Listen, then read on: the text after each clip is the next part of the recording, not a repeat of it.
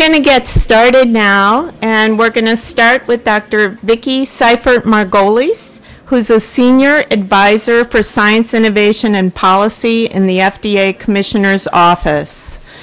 Vicki's been an active member of our planning committee. She's also uh, tasked at the FDA with bringing innovation to the agency. So we're all looking forward to Vicki's remarks. Thanks, Lynn. Um, so I'm going to try to keep you awake um, and talk about talk about this issue around data and big data and what we can do in sort of terms of what we can do and what we are doing as opposed to what we can't do. So I think we've heard a lot about what we can't do today and how hard it is. Except for Richard, he was he was giving us, I think, more optimistic. Ironically, coming from the FDA, I just want to point that out. So, um, um, I think that there's a lot we can do, there's a lot we are doing. And I don't think it's always really expensive, and I don't think it's always really hard. I think it's just about doing it. And I also think that we have to be mindful that what we're talking about here and building on the last session on standards, in my, in my mind, and this is my view, not necessarily official FDA view, but my view, having spent 10 years prior to coming to the FDA in academia doing analysis of large data sets and clinical data in a large clinical trials consortium. Now coming to the FDA and really working on how do we bring scientific computing to the agency and working closely with Eric uh, Perakslis, our new CIO from J&J. I think we have to be creative and I think that we have to be flexible. Because if there was one thing I learned in 10 years of clinical trials in immune mediated diseases is that the endpoints of 1999 didn't look at all like the endpoints of 2009. And so if you set out to try to predefine everything, you aren't going to be able to do it. And I would wager to say that the patient of 2012 in terms of how we characterize them, even for basic characteristics like race, which by the way are already giving us problems, and I'm going to show you some examples, um, are going to be fundamentally different when we start having genome sequence. And it's all, in my estimation, about what's the question and what's the experimental context. And having that context of the question and the experiment will drive how we look at data. And I think we have to just keep in mind that standards are important, and to the extent we can do as much to keep things as standard as possible, that's great. But with the knowledge and the full wherewithal that what the question is that we're asking is going to drive how we look at the data, what fields we pull, and will also drive how we normalize that data. So I, I really think that this is a, a balancing act in large part. So I want to talk about a couple of efforts that have been underway at the FDA and sort of tell you quickly what is sort of the current state even with the study data tabulation model in hand. And let's take that as a given. We know 40% of the data is still coming in, maybe a little bit more on paper and maybe not necessarily standardized. We also know that there are still a large number of reviewers, and maybe Eric's going to show this wonderful photo, that regardless of how the data is coming in, they print it out and they tape it to the walls of their offices and they look at it. So they're not necessarily availing themselves to the attributes of standardized data or advanced analytical tools or advanced visualization tools because it's not how they're used to doing it. So the underlying culture and process that exists in large organizations obviously plays a tremendous role in how well and how efficiently and effectively we actually can implement some of these changes. So right now, the sponsor sends TLFs, as was mentioned, and if they're doing it nicely, they send it to us in this nice SDTM format. Comes to the reviewer. The reviewer looks at it, and as I said, sometimes they're looking at it electronically, sometimes they're not, sometimes it's coming in in paper.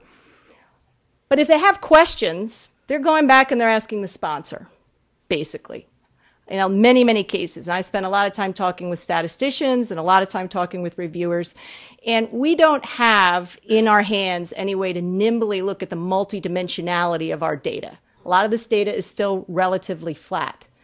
So ideally, what we'd want is more of what I call the, oh, not that, the information, the information in a more raw format and tools that allow us to compare trials and programmers that allow us to manage our data and allow us to take things out of SAS, pull the fields that we need based on what the question is that we're asking, and provide those in a format that's in a table that can be laid into advanced analytical tools, can be used by statisticians, etc. I spent a lot of time thinking about this part right here and what our reviewers are doing. And I can tell you, the statisticians are doing most of the programming. Statisticians are doing a large variety of the data quality work. And the data management layer at the agency is probably not as um, helpful as it could be. So we need to think hard about that. We also need to think about what kinds of things we can do to manipulate the data with advanced analytical tools and how we once we move into this system of collecting data off of EMRs if we if when we get there how that's going to implement and how that will be rolled in to the process we currently have because right now the communication between sponsors and reviewers is probably not going to be the answer the way it's currently constructed so I'm going to skip this slide.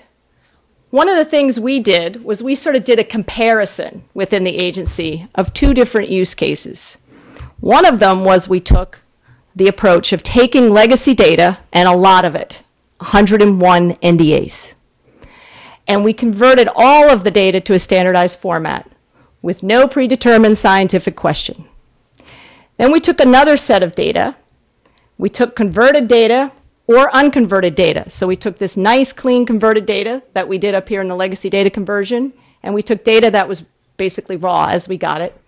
And we said, can we answer a specific question using some tools? And the tool we chose is nothing all that magnificent, but it's a pretty reasonable tool called Amalga. It's a tool developed by Microsoft. It was actually developed for point of care um, data integration.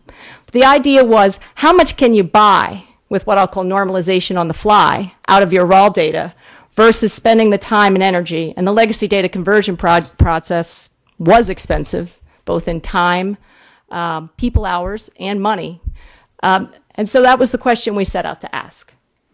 So for approach one, we supported the conversion of 101 legacy clinical trial data to the SDTM and ADaM formats to enable exploration of the data. Basically, um, patient centered outcomes research. And this was part of a larger project, which was a $21 million project funded from American Recovery and Reinvestment Act money. There were three key elements to this project. One was the creation of a clinical trial repository. That was a large project, and it was using a very, very standard data model approach. And Eric is going to tell you a little bit about how one of the things we've learned in this process is while there's value in that, we think that there are much more facile, cheaper, ways to do it with agile software development. The other piece of this was to actually convert the legacy data. And then the third piece of it was to engage in actual research on the data. And so we did that. We worked with Johns Hopkins University. We moved large amounts of data, 61 HIV combination NDAs, um, that we worked on collaboratively with Johns Hopkins University. We did it under contract and with an NDA, and we were able to fully share some of the lessons that we learned that I think are critical for all these efforts is that the subject matter expertise was was key in enabling the Hopkins University team to be able to do the work they wanted to do.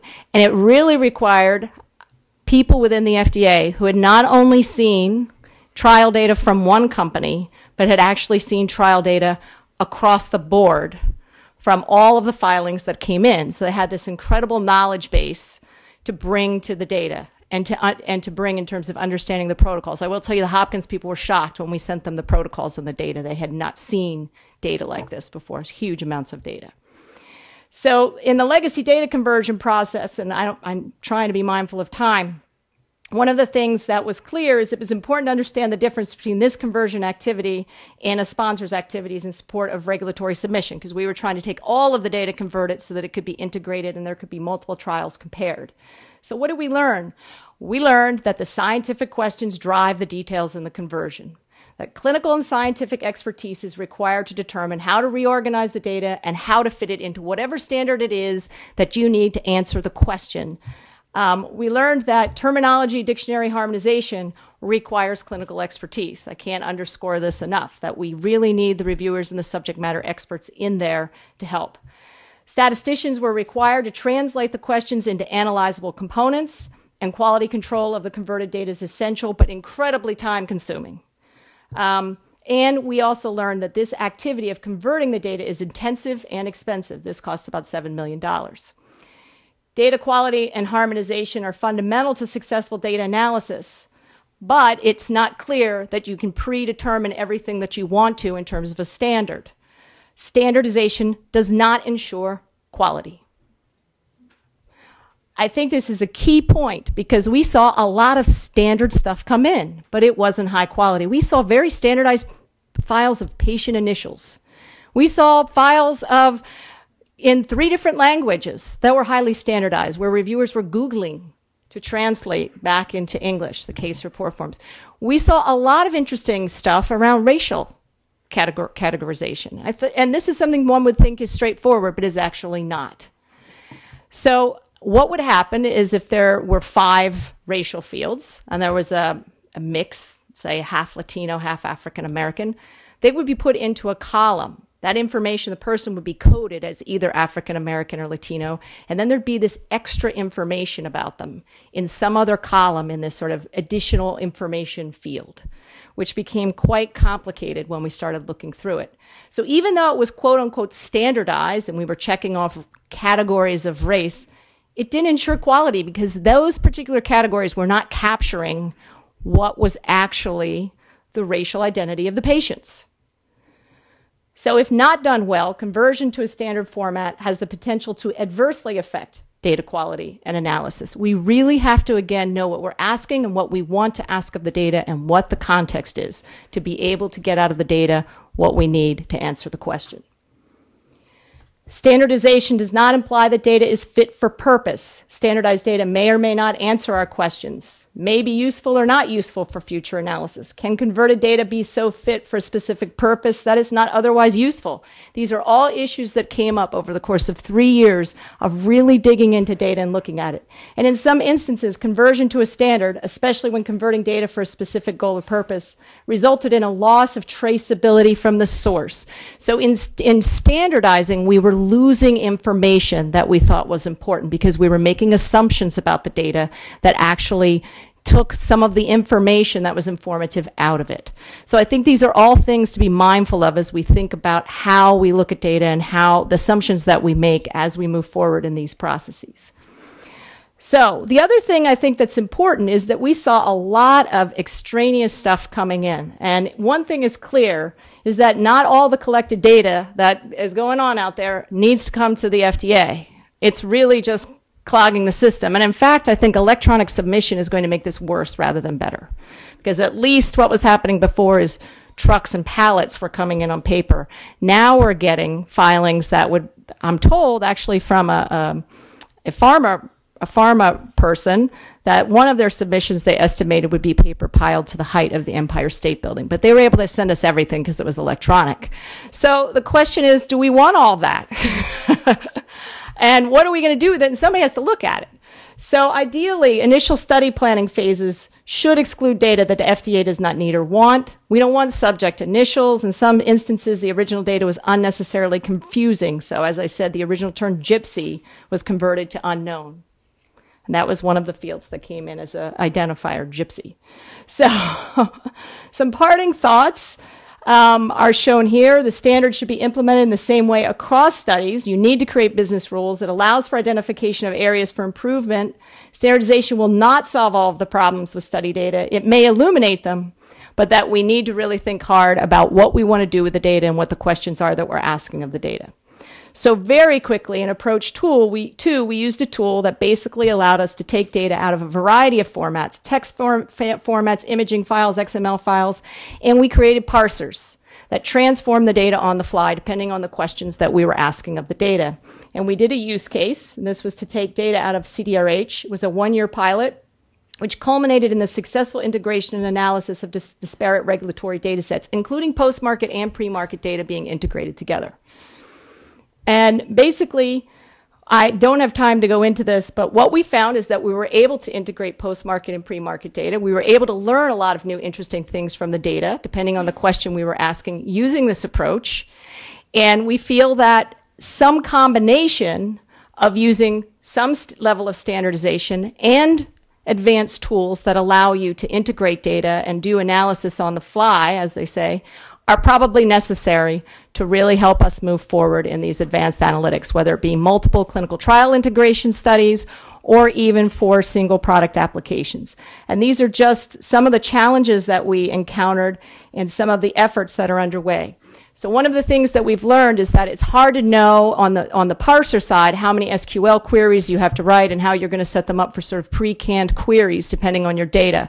So you need to have people who can help you with that and who can take the questions, who can understand what the data is that's coming in and then how to parse. But we've also learned that there are some processes in review that are highly repeated um, and that there are opportunities to actually pre-write some of those uh, queries to enable us to flexibly integrate multiple types of data without having to go to all the time to pre-standardize it. So again, I think it's going to be some mixture, and I think Eric will probably follow on with some of those thoughts.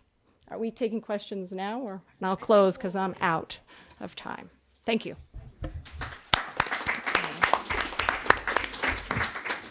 Thank you, Vicki. Now we're going to move on to our case studies, and Carolyn Compton will start us off. Carolyn is the CEO and president of Critical Path Institute. Carolyn brought her passion for all things standards to CPATH with her from the NCI, where she was director of the Office of Biorepositories and Biospecimen Research. Thank you, Lynn, and thank you for the organizers for inviting me this chance to be a case study um, in data standardization, data pooling for a very specific purpose, which CPATH is engaged in. And it, and it points up, we are, in fact, a good case in point for a lot of the, uh, the points that have been made by speakers today, including the ones that Vicki just made. What CPATH actually does is act as a trusted third party to develop standards, measurement standards, method, method standards, and data standards with our 41 industry partners and all of our academic partners. Um, but we do this for a very specific purpose. The purpose is to formally submit these consensus driven standards to the FDA for a qualification, which is a formal process prescribed by them for pre-review and approval. Once they are approved in this qualification process, they go out into the public domain and stand as a standard for anyone, whether or not you participated in their development. This is exactly how we do it. We are a not-for-profit 501c3 that has been um, launched by the Critical Path Initiatives program of the FDA. Um, we convene consortia um, to bring together the best science and in this fashion um, create shared risk and shared costs for the creation of these standards. It also drives consensus. And we iteratively include the FDA during this process. So there's, there's regulatory participation and guidance at every step. And then at the end, we officially prepare a qualification submission to the FDA, um, and then they either approve the standard or not. Um, and this is something um, uh, that they call a drug development tool. One of these standards, they actually have three categories of these, which they have um, defined as biomarkers, clinical outcomes assessment, and animal models, although CPATH does not engage in animal model standards development except where it impacts preclinical studies for toxicology. Now, the FDA, um, this is a particular um, uh, slide from one of Charles Cooper's talks from CDER, who that that outlines um, the need for standards from the point of view of regulatory approval of products. The the point being made here is that non-standardized electronic data limits the quality and efficiency of the review process. It's difficult to integrate data sets. It limits the ability to ask in-depth questions, and it increases variability and and and increases time for review. And therefore, um, these same issues um, are, are affecting the qualification process of the standards that we're developing, since these go to review groups, scientific review groups, for um, scientific approval. Uh, I, I'm going to pick out one of the six global consortia that we have built um, since 2006 when we began. Um, these consortia do operate globally because all of our company members are global companies. We have more than a thousand scientists and 41 companies, the, the who's who of big pharma, participating in this consensus science effort.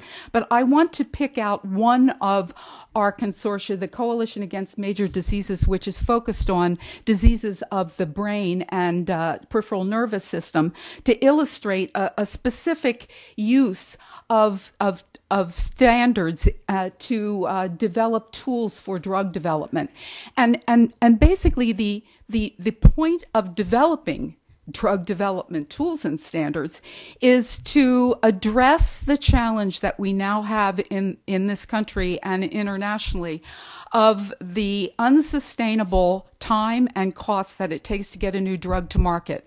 More than 10 years and more than a billion dollars to get one single drug to market. The focus of these standards is on process improvement for the entire drug development and translational research pipeline. So in CAMD, the, the tools are to specifically advance effective treatments for Alzheimer's and Parkinson's disease. And we do qualify biomarkers as a drug development tool, but we also um, develop data standards, create integrated databases of clinical trials data based on standardized data and and built on top of those standardized databases develop accepted for use quantitative disease models that allow you to model clinical trials to optimize um, clinical trial design. And uh, the, in fact, the very first CDISC therapeutic area, that is disease specific data standards, were developed for Alzheimer's disease within um, CAMD and published in September uh, 2011.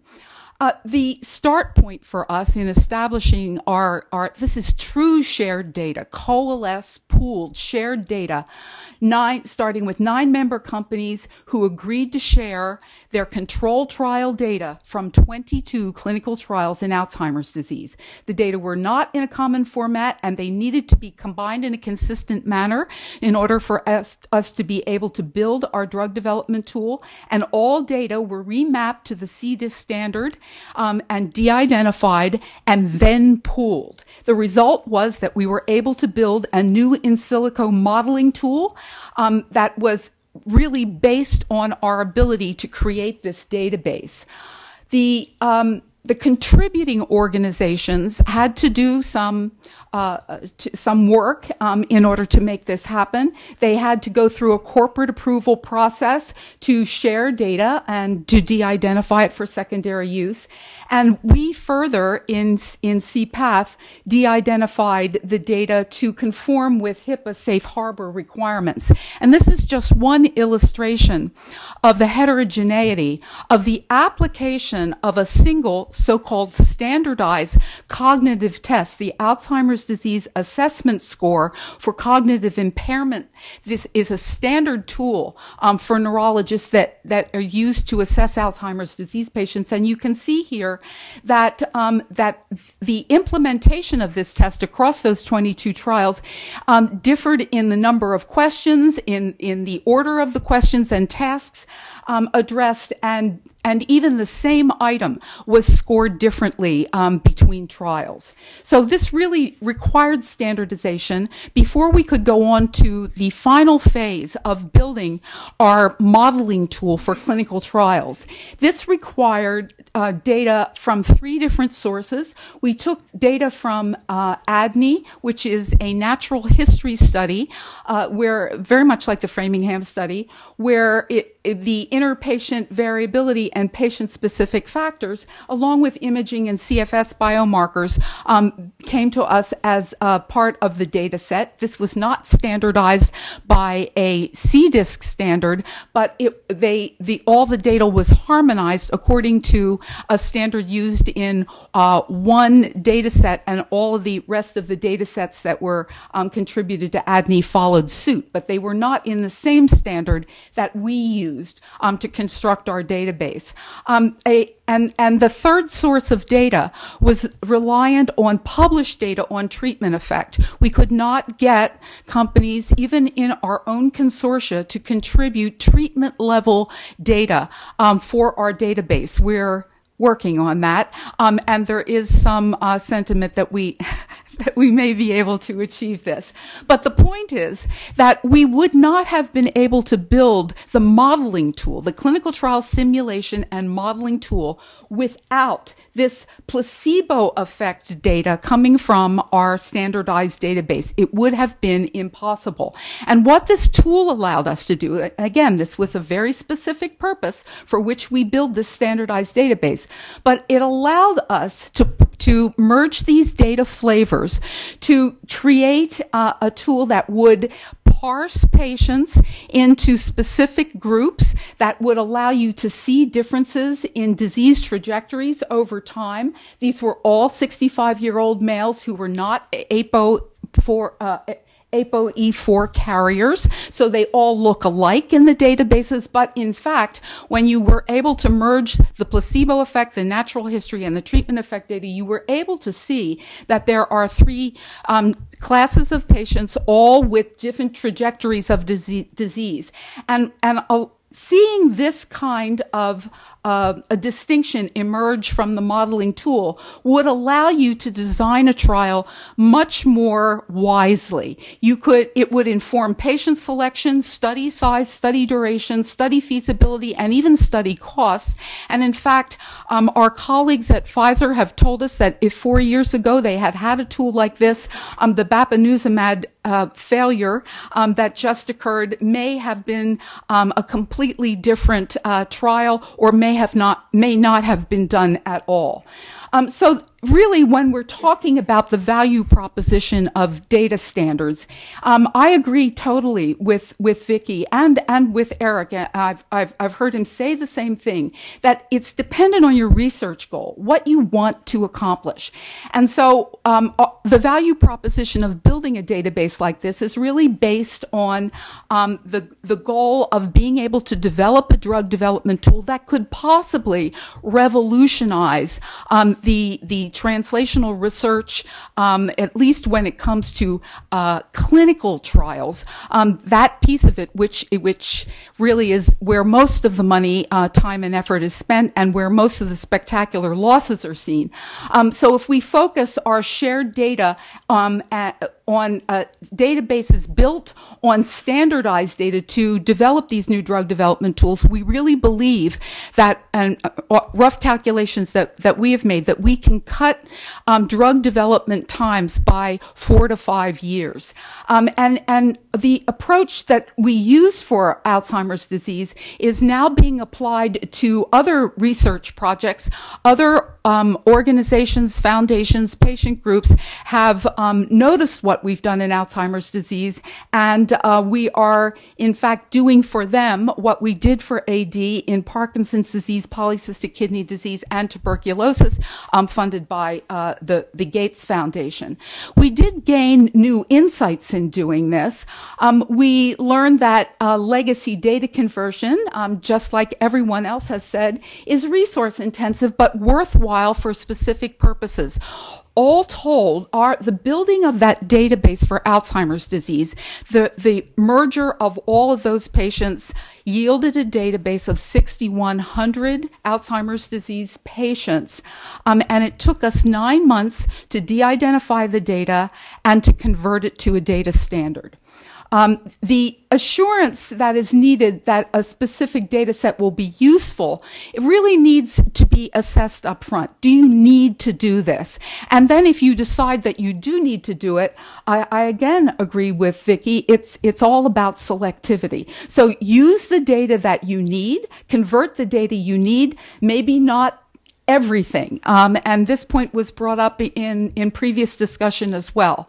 Um, unless, of course, it costs you no time or no money to do so.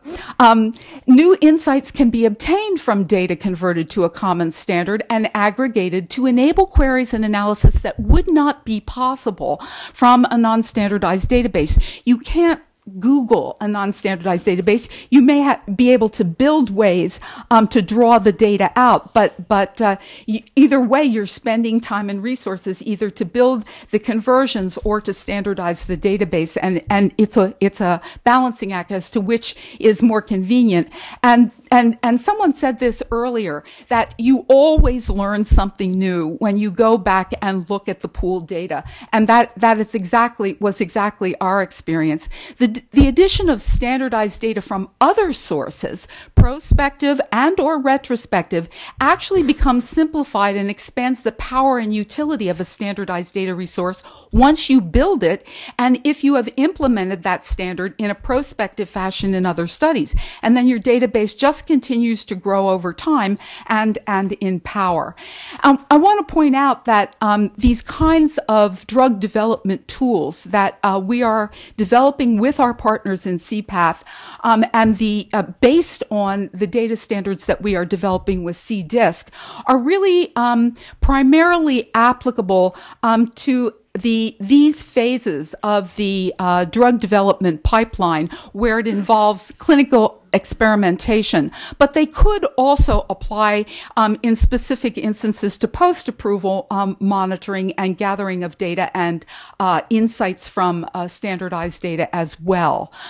Um, I, I, do want to point out that, as was pointed out earlier, uh, that uh, the the the Prescription Drug User Fee Act goals actually talk about clinical terminology standards um, with the goal of com- of completing clinical data terminology and detailed implementation guides for data standardization by 2017. So there still is this focus by the FDA having specific goals for the development and use of data standards, but again, for a very specific use. And from CDER uh, comes this list of 55 therapeutic disease areas that they um, have put on their website and for which they are um, asking uh, the development of, of therapeutic area data standards within five years, the so-called 55 and 5 uh, list. Um, this challenge um, has been taken up really by um, uh, the new Transcelerate group. They also recognize the need for data standards, at least for product um, approval and their submissions, and they're recognizing that the FDA is calling for these to uh, decrease uh, review time. Um, and we are at uh, at CFAST now working with Transcelerate as well to um, to develop the data standards uh, for their therapeutic area priorities um, within the the uh, Transcelerate initiative, and and this this particular session um, also focuses on governance considerations for data pooling and data standardization. So I just wanted to end with some of the governance considerations that we've had to face um, in doing what we do. There are actual governance rules for developing the data standards themselves and the need for collaborative expert input and consensus. Rules of the road for merging the data um, based on our, our best practices would um, involve use of high quality data, use of data standards that the FDA accepts if you are focused, in fact, on regulatory approval efficiency and using data standards end to end. And the rules, there, there are also are rules for accessing the data. We've talked about this. Our database is open to investigators who are qualified. It goes through a data access committee, but but at the end of the day, the tool that we're developing on top of that will be completely publicly available. And then rules for um, access to the qualified drug development tools um, will be completely free. Um, so that uh, uh, one good case in point for the, the data standard use for a specific purpose um, focused on FDA. Thank you. Thank you, Carolyn. We're going to move on to Dr. Eric Perakslis, who is the Chief Information Officer and Chief Scientist of Informatics at the FDA. And before the FDA, Dr. Perakslis was Senior VP of R&D Information Technology at J&J, where he spearheaded the use of Transmart at J&J and beyond. You know you're being quietly effective in your new job when you get invited to do a talk from what you did four years ago at your old job. So I'll just take that as a compliment. Um, you know, actually, I, I do want to thank J and J. Um, this is a case study of something that we did uh, back and I guess it was 2008, 2009, um, and it really, it really is a, a, a, talk about sociology a little bit more than anything else. You know, simply put, I had been asked at one point at J and J to bring together informatics and data across their immunology, oncology, and biotechnology franchises. And these, of course, had been separate companies at one point that had lots of products, lots of different standards, lots of clinical trials. And so when they were talking to me, I said, that's fine, it's real simple. I have to have all the data. If you give me all the data, I'll make something work for you. And, you know, it was very, even at a company like J and J, and we were on the biotech side, you know, a lot of the research folks didn't have access to the clinical data, the preclinical data. You know, it's it just there's a silo next to you, whether you see it or not. It's it's it's probably there, and so we very quickly decided to not reinvent anything. And so I looked around and I came across I2B2, you know, a, fantastic uh, bit of infrastructure funded through the CTSAs at NIH. Uh, Zak Kohane and the folks up at Harvard had built it, and it was really an amazing data warehousing tool that had been used for EMR data and clinical. Data. So, so I, I used it. Um, we decided to use it. We decided to go completely open source um, with this system, and we decided to put it on Amazon's public cloud, EC2 which was, pretty heretical for for 2007 and 2008. But quite frankly, it was one fifteenth the cost of doing it inside, and we we studied the security, did the assessments, and it was just as good as ours. It was fine. So so we decided to do this, and it was starting to work well. We got a lot of trials in there, and you know, the the comment about standards I'll make is you know just use what you got and go. Patients are waiting, right? So you know what we would do is, of course, we wanted to do this thing with Love Oncology. So we, we looked at CDISC and everything that worked, we use. And we look at other things. Everything that works, you use. And then at some point, you do some dictionaries, and then you have really smart humans, curators and folks that help you align the data and get it in. I mean, I, I think if you've got a project to do, just do it um, and, and, and get it done. Now, we weren't doing, to be really clear about this, this was really a, a data warehouse for hypothesis generation, biomarker research. Okay, we just you know, we still don't have a disease modifying treatment for asthma, but we've run all these asthma trials. What might we know? How might we learn something? So, to, to the point that both Vicki and Carol made, it's a very different thing if you try to automate pre market submission review. Yes, that's a factory. You want widgets, you know. Henry Ford, get it done, make it concise, push it through, make the process work, make it effective, take time out. But this was more about R&D. This was more about people talk about signal detection. I think I'm more of a fan of saying signal management because detection is just pore size. you know, it doesn't, you know, management is deciding which ones to act on and what to do. You can always get out the money and run the experiment with the p-value with all the zeros when the time comes. I think it's much more interesting to understand how to quickly understand and rule out hypotheses.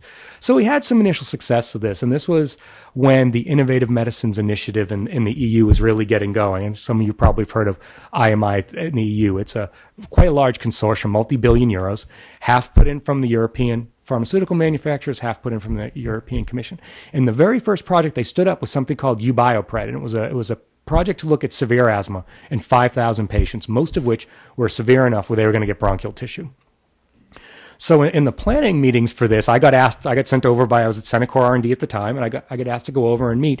And it was really fantastic because there was like nine pharmas in the room. There were like 30 academics all designing a clinical trial you know, and it, it sounds like chaos, but I got to tell you, it was as much fun as, as pizza graduate school because it, it, was a lot of ideation and, you know, the, the academics were doing things like nosomics and all these brilliant ideas about the types of analytics you could do. And of course, us on the farm, we knew how to run a trial. We knew what consent had to look like. We knew, you knew what operations and, and supplies had to look like. And so we started looking at this and, you know, they hadn't really thought about the data which is what you get when you run a 5,000 patient trial. So, you know, we started talking about that and we, we started getting to that. And people were very, very open to this. And this, this went on at Imperial College. And then, you know, then it was like, okay, well, okay, this company's doing this and this company's doing that and their system, and it's like, guys, let's just talking about bringing it together and how you actually make it work. So what we did, um, and this was we actually set this up in the first week, and we decided to do a little pilot. And I really want to take my I don't know if any of my colleagues from GSK are in the room, but the GSK folks had run one of the largest COPD studies ever called Eclipse, and they'd had it for years, didn't didn't meet its endpoints, but it was probably one of the richest things. And they said, you know, we've got this Eclipse data. We've never really been able to look at it the way we want to without biostatisticians taking a lot of time. They said, what do you think? So we, I said, well, let's take a look at it at the system. So what we literally did in 90 days, Yike Guo, the head of bioinformatics at Imperial College, stood up a, a version of Transmart on his cloud. We moved a large cohort of the GSK Eclipse data in. AZ put some data in, and J and J put some data in. And three months later, they were all looking at it and doing it. No one could believe it had happened so early. We went over to Brussels to the to the EU and showed them, quite frankly, how, how simple it was. Now, again, no p values with lots of zeros behind it.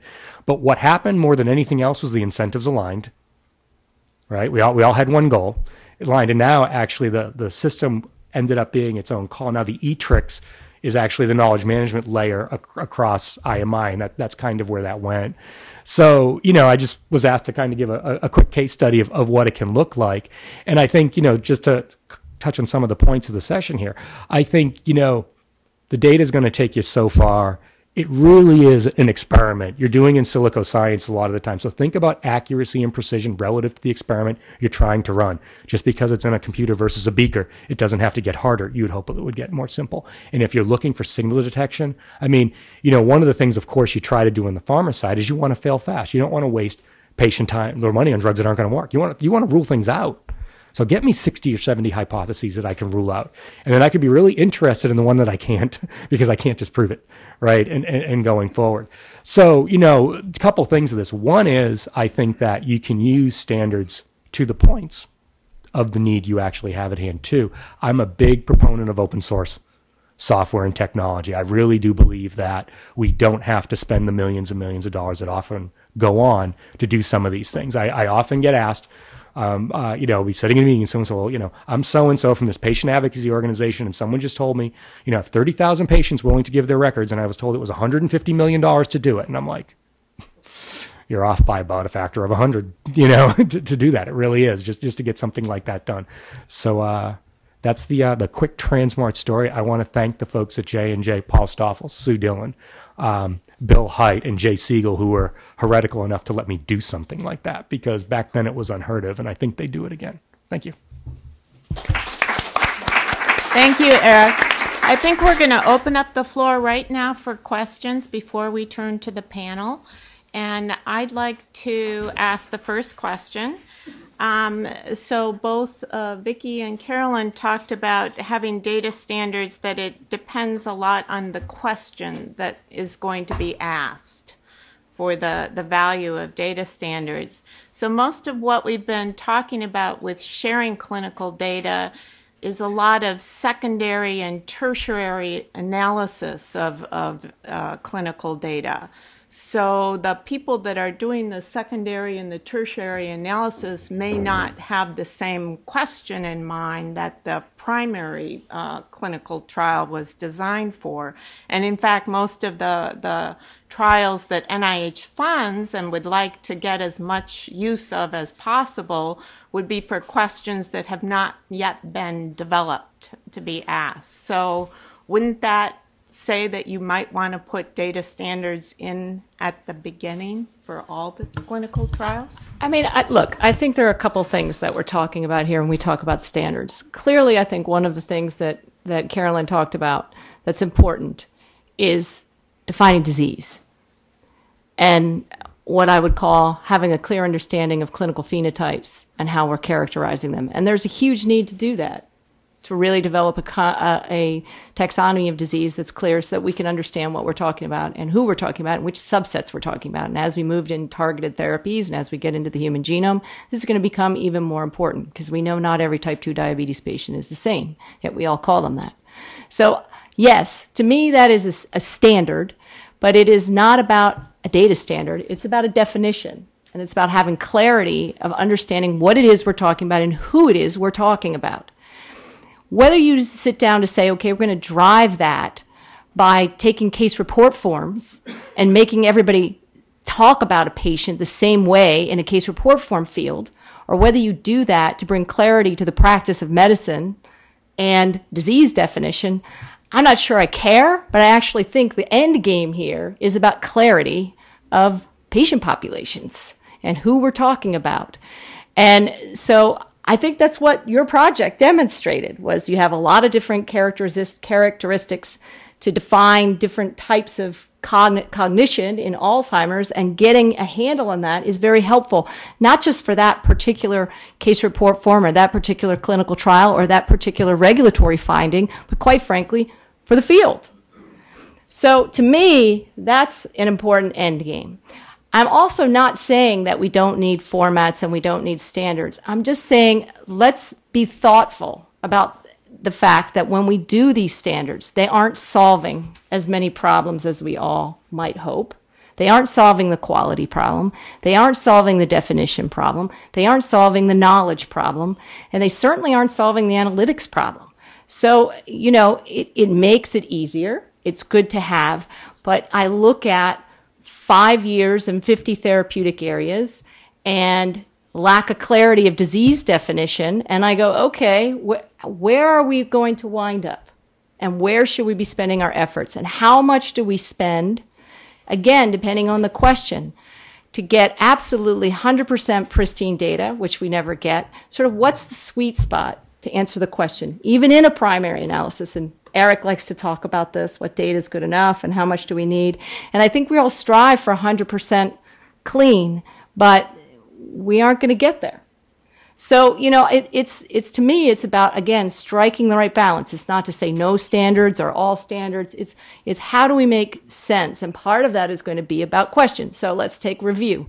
There are certain questions, for example, in pharm tox that when you talk to pharm tox reviewers, they ask and they will want to look at and they will pretty much want to look at it every single time. That's a great place to do standardization. But if you're looking at type 1 diabetes and, and trying to characterize pancreatic function that's left, we've been debating area under the curve for C peptide for 10 years. I'm not sure that's the place to make a decision to say you got to collect it every time with a four hour fasting and we're going to take the area under the curve. I don't think we're clear on that. So, you know, that's, that's what I'm getting at. How do we do this in a more informed way and integrate disease definition and clarity and taxonomy, which is where I really think much of the work needs to be done. I don't know if you want to. Yeah, there's a point of clarification. I don't want it. Are you saying that you think the, the direction we're going with 55 and 5 is not a good investment of resource? No, I'm not saying that. I'm just saying that when we look at the effort that we put in and we, we did the experiment and we standardized the data, it didn't fix everything magically. Okay, so I just want to make sure we set our expectations at the right place. And if I could, it matters on how much we're spending on it. Yeah, and it matters on time and money. I mean, you know.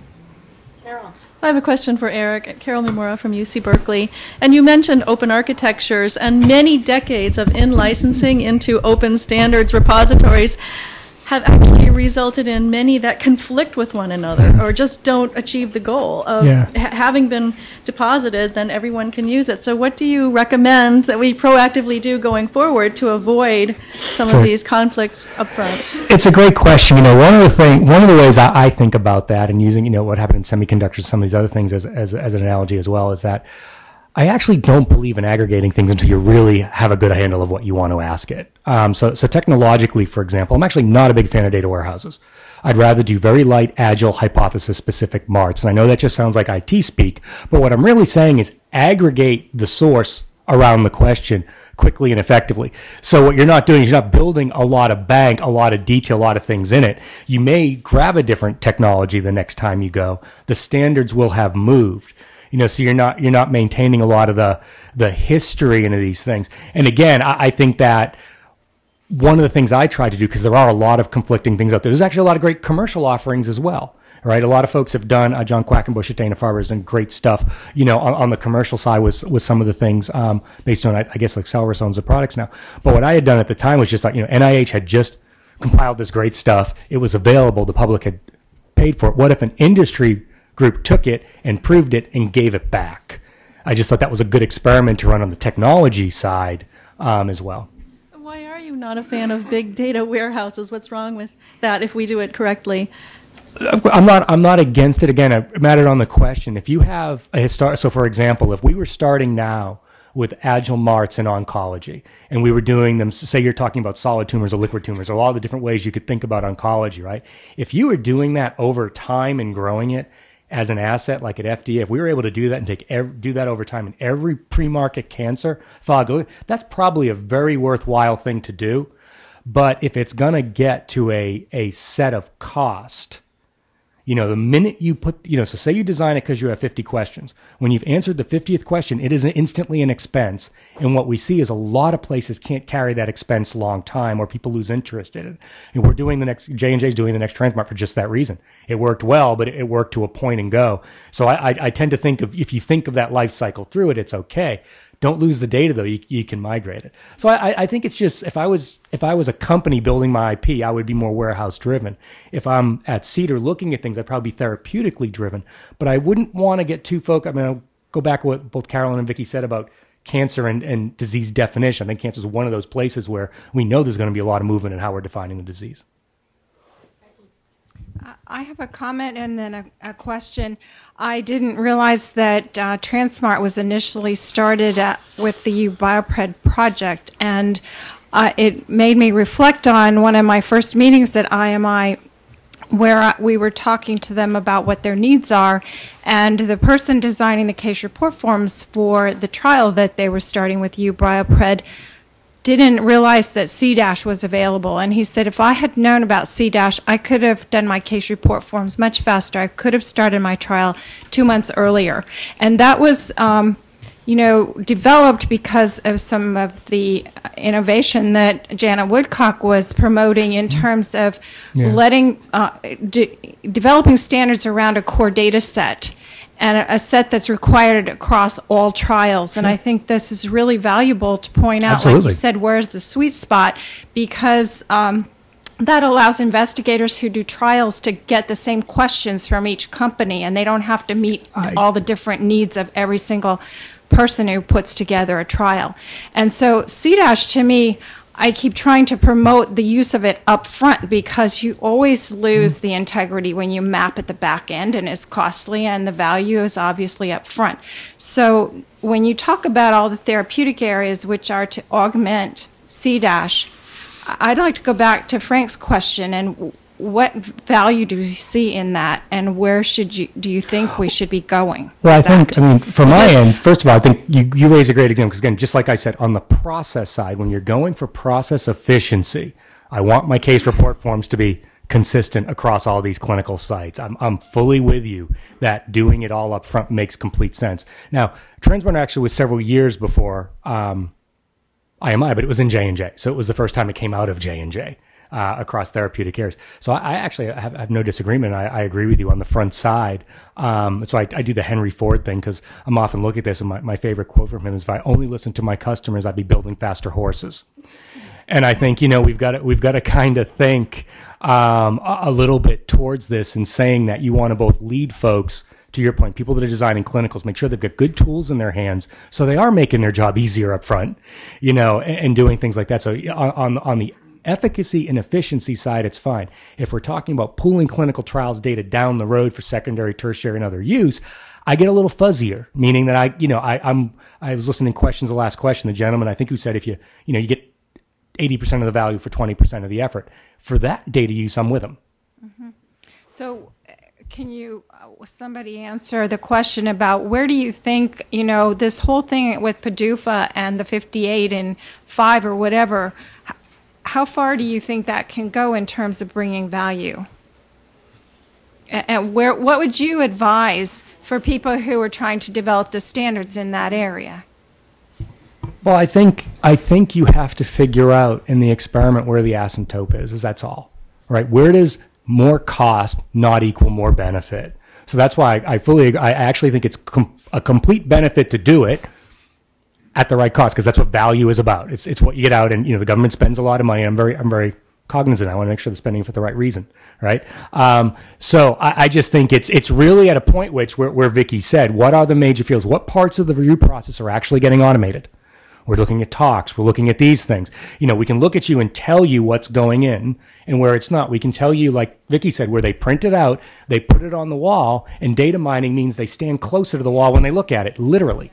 So I think I think it's looking at the different types of data coming in, and, I, so I'm fully supportive of it. It's just a matter of it's not going to make it perfect. So don't get too far to the right on the asymptote as far as spending goes. That's all I'm saying. Well, and just to be real clear, what CDISC is doing isn't funded by FDA, just so everybody else in the room knows, because that, uh, it's important to us how we spend our money wisely. Right. as Absolutely. well. Right. It is time though. And I, and I, it is a lot of time and it is a lot of reviewers' time. And I'm not, again, not suggesting that we shouldn't do it. I just, I think what Eric and I are trying to articulate is it solves a certain set of problems for process. And there are certain parts of review that are going to be very processed.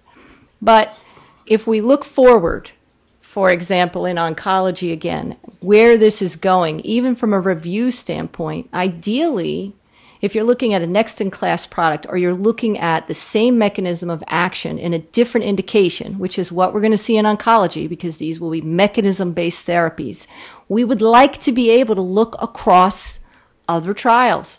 And I'm not sure that this is going to solve all those problems because we'll need flexible, agile tools. We'll need subject matter experts. And, and, and so I think what we're saying is yes, it's important effort and obviously it's going to happen, but let's set our expectations at the right place and let's set our time and energy spent on that and, and make sure we put some equal thought into the analytics side, into the flexibility side, because we get to the point, and we saw this in the legacy data conversion, where we constrain ourselves by the standard and by the data model.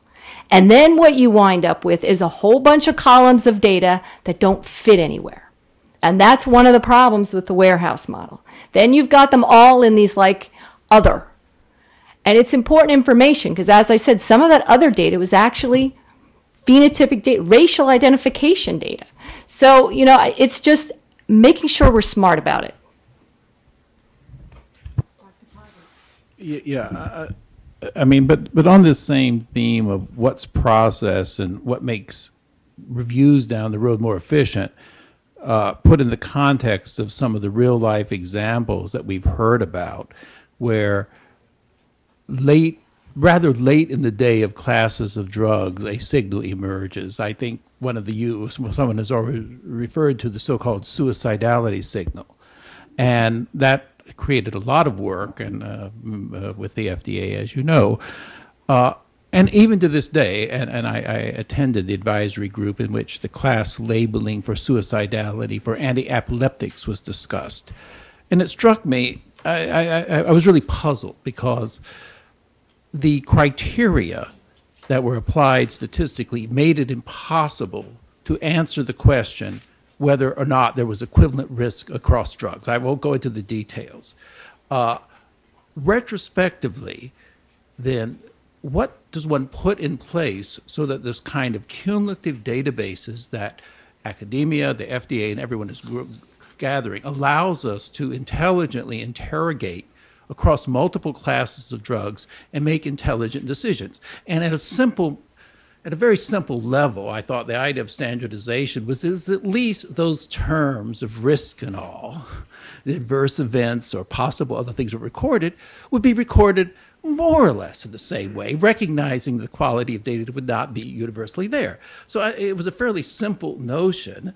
And, uh, you know, and I, I heard and I understood this 55, 50, or whatever you're calling it now, as in that spirit of getting us together, and I noticed schizophrenia was the one, one, so I'm a little familiar with that, to, because it's a very complex illness in which how we record symptoms and how we, I hate to use the word standardize that right, is abysmal, right, to about to be perfectly honest.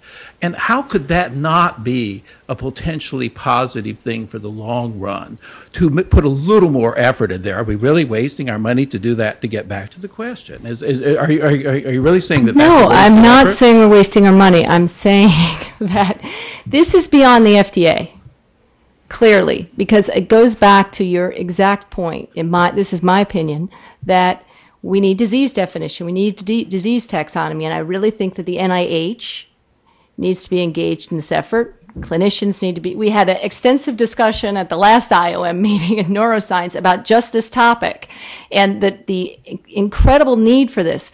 I don't see that as CDISC's problem. I really don't. I see that as a bigger issue for the medical community. So to the extent that CDISC can help drive or solve that problem, great. But I don't think that that is the FDA's, I don't think that that issue is solved by standardizing case report form fields. Yeah, that's, that's what I'm saying. And actually, I, I fully agree with you. I'm glad they didn't wait for more standards to do that study. Right. You know, so I, I think that's what I mean. You you know, you go with what you see and where the, where you are with the data, but having better stuff to look be, make it easier next time. Of course, it makes sense.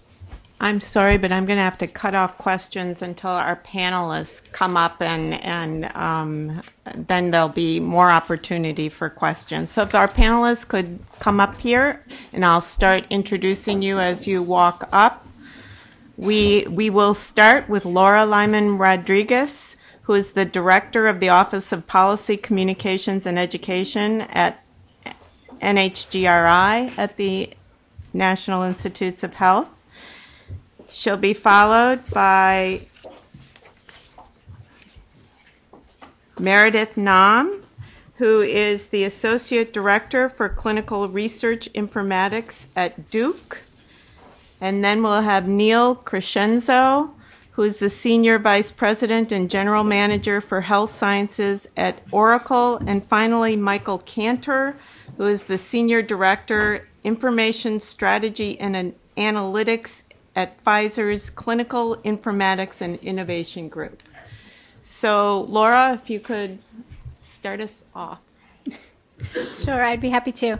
Um, and I'm just going to put out up front that I was asked not to do slides and I haven't done slides, but I make no promises about staying on track because I, I definitely am a slide driven um, speaker. So I guess what from my, my basic response from today is how exciting it has been to sit in this room and listen to all of the different stakeholders be so excited about data sharing and see all of these other people struggling um, with these problems, not because I enjoy their struggle, but because um, these are issues that we at Genome have been thinking about um, for a while, and at NIH in particular, um, in a very specific way for the last um, six to seven years as we started putting together large data repositories to bring together genomic information with phenotype information um, and sort of bring that culture of rapid data sharing and broad data sharing of everything um, that you have in terms of the data that was very prominent in genomics to other disciplines where the culture was very different.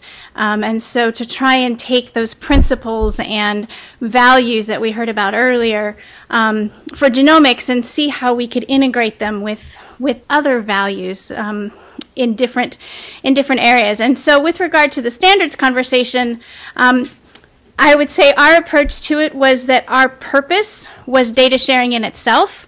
So all data was fit for that purpose. And so we did not, in, in constructing um, the database for genotypes and phenotypes, create standards to go forward. And I think that the database is still very successful. It's highly utilized. Um, and, and that has worked. And it gets to some of the other things that we heard a lot about just most recently about just do it. I mean, what we want to do is see progress made. Um, and there is value in doing that. That said, um, we also have efforts going on to look at how to develop some data standards. We have a PhenX project that's looking at um, trying to create more standards around phenotypes, some of the taxonomies, so that we can have better vocabularies to talk between studies. And, and we do think that's important. Um, it can enhance quality, it's not a guarantee. Um, it's also something that is very much done better when it's early um, in the process so that you can implement it throughout and have that kind of um, streamlined access um, to the standards and, and that it's, it's not retrofitted. So it's really most valuable, I think, prospectively. And where we are right now is we have an enormous amount of data that's out there and we want to know how to use it and we want to know how to bring it together. Um, so my general thoughts for today is, is it would be wonderful if we could begin capturing the lessons learned from these studies that have gone out there and from many of the things that we've heard today and synthesize that in some way that is disseminated. So it's not just who's at the workshop or even watching on the web today but it's out in the literature for other people to iterate on and to learn from and to expand um, to different scenarios without having to recreate the wheel um, completely. And i think in that way um, you would begin to actually inform any future standards development as well, because you would see the things that would work and some frameworks that would be helpful. So the other thing, I guess, uh, another major point is that I see standards. We've talked a lot today about the technical side of standards, and really mostly we focused on the technical in terms of the scientific standards or the clinical standards, um, the rules of the road that we would put in place. But I think we also heard in not so much um, of a constructed way, but anecdotally and often in terms of the problems about the standards that we need to build into this around the ethics and the responsible conduct of the research. Um, and I think those are equally important to synthesize and to put out so that we aren't spending so much time trying to figure out what's the appropriate way to de identify information, um, to honor the contributions, and to um, respect the privacy of the participants who do donate their time and their very sensitive information to what we're trying to do. Um, and so I think that is something else that we should think about as um, in, in, in, a structured way as we do about the scientific and, and, clinical standards. So privacy obviously would be something to do, something um, to think about respect, to think about autonomy of the individuals, their choice. That's something we're struggling with. We heard about the ANPRM.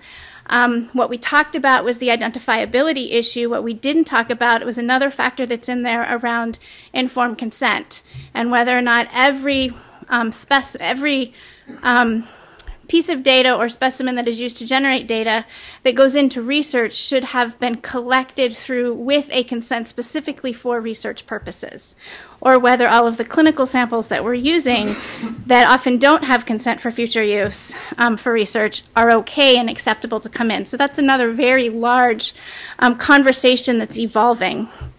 Um, and we need to find a way. We heard today about how, how um, patients want to be asked. They want to be part of the process. They're willing to do this, but we do need to respect um, what they are exposing themselves to by participating um, and give them an opportunity to say yes or no. But we, we then need to think about how to do that. That's hard to implement. Um, but hard doesn't mean we don't do it.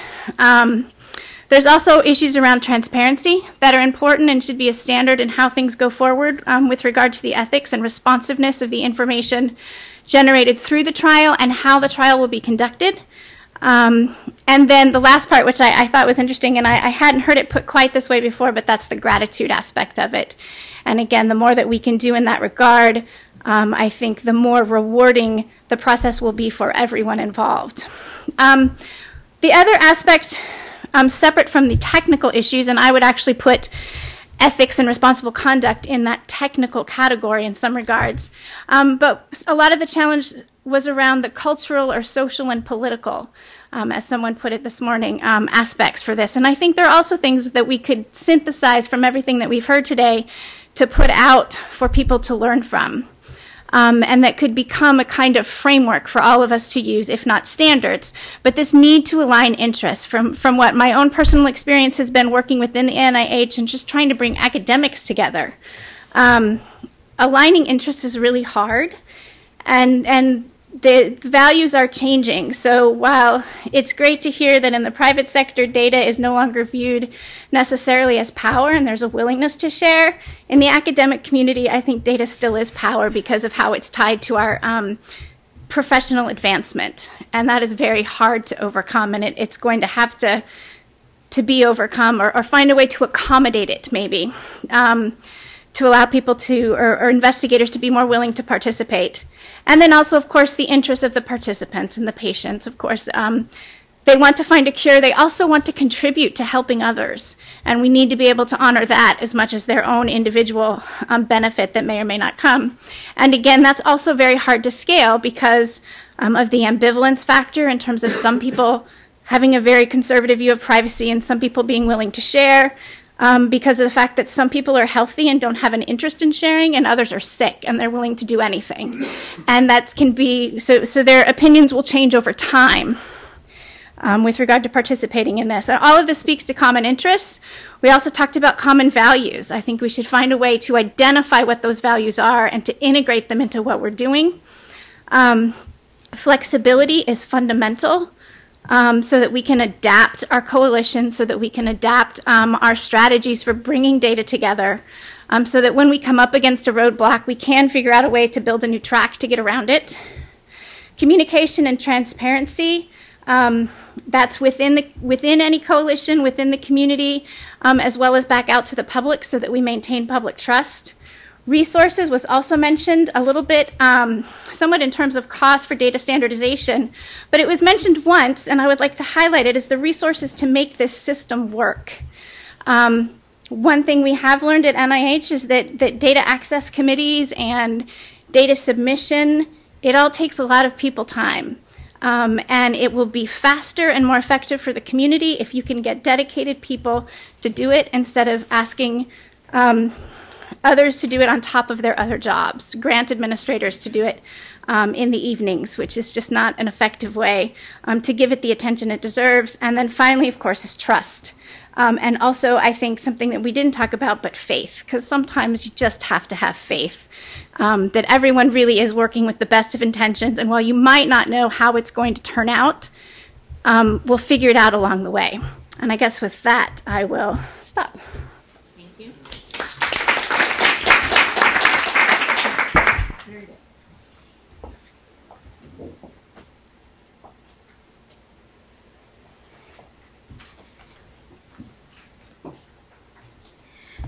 Hi, and thanks so much for inviting me to be a part of the meeting today. Um, I want to tell you a few stories, um, but first, sort of a, as a panelist, I kind of want to do a job of maybe abstracting up a little. Um, because at its core, reuse of data is really use other than those which were originally intended by people other than those who collected the data. And there's a lot rolled into there. there. There's a lot rolled into there about knowledge coming along with the data, as Dr. Axton referred to earlier. And, you know, if you buy from the information quality industry and sector that, the data and information are an asset, then we would need to start thinking about that asset as something that might outlive us. Maybe in the terms of our lives, maybe some data that old aren't useful, but I think we've all experienced the departure of an important individual at a company and not been able to answer critical questions about the data. And what I really want to emphasize um, throughout the discussion, sort of like the Lorax who speaks for the trees, is I'm here to speak for the semantics. Because if, if the data aren't specifically defined well enough that, that others can use them who weren't involved in the original collection, then we as researchers really haven't done our jobs well. And that, that may be a little harsh, but there's a also a recognition, I think, in the room that getting to that level of specificity requires standards that don't exist, and it also requires a level of rigor from the researcher, um, both at the trial or the study level, as well as at the individual data element level to include the semantic specificity that's necessary for humans to align the concepts according to notion of human meaning, and also maybe for analytic tools that may automate or speed the review process to align those concepts according to notions of human meaning. And so, so now I'm going to tell you a story. Um, you know, I had the, the great fortune um, to work with the Clinical Trials Network from NIDA, the National Institute on Drug Abuse Treatment. And uh, in 2006, around that time, NIDA put up um, the first standards based public data share. And NIDA did an incredibly brave thing. Those heroes actually supported the de identification of the data um, and the aligning of the data according to the CDISC SDTM standard and putting that data on the web where it's publicly available, of course, with requests to use the data and, and important infrastructure like that. But but I also want to sort of sing the praises of the heroes um, and use this as an example at NIDA, who years before the data share went available, and it, it's up on ctndatashare.org if anybody is interested. Um, years before that, there was a committee of investigators and, and research teams from the Clinical Trials Network who actually defined the concepts for the individual trials not just a common battery of assessment, which by the way makes the data set of 27 trials even more valuable, but defining the other data elements that weren't standardized in validated instruments or tools. And because those individuals had done that and had implemented that uniformly across the network, it was, it was relatively easy to be able to find a uniform and a consistent mapping into the CDISC SDTM, um, which, which some people may call it a content standard. I tend to call it more of a format standard um, if you leave out the CDISC terminology part. But we were able to, to put those concepts all into similar buckets so that people who use the data could set the data sets on top of each other as they would want to do to do a pooled analysis or as an FDA reviewer might want to do to look for class effects across compounds. So, so that's one story from 2006. And, and then I'm going to fast forward. Um, we've recently completed um, the initial year of the schizophrenia data standards um, work under one of the FDA R24s. And I'd, like to thank the two members of the Clinical Expert Review Committee who, who've mentioned that work today. Um, they've actually been doing the, the very detailed and, and difficult work of taking a set of data elements that have been harmonized from phase three pivotal trial case report forms submitted with a schizophrenia indication into a set of, of common data elements. And so the, those went out to the clinical expert review committee. They're out twice. Um, they're now out. They have the HL7 ballot for the standard data elements. The first ballot's closed. We intend to ballot again um, one ballot cycle is, is pretty close for the clinical professional societies to convene a working group. I think one out of five actually got it to us within the one month ballot cycle, and uh, those are also heroes who were able to do that. But what I want to tell you about the schizophrenia data standards effort is. Um, you know, I've been involved in about 10 therapeutic area data element standards project at, at this point in my career. Um, and when we went into schizophrenia, I hadn't ever synthesize them from case report forms before. I'd always worked directly with clinical expert committees in order to define the content. And when we did that, I was just about certain that I was going to see an asymptotic effect.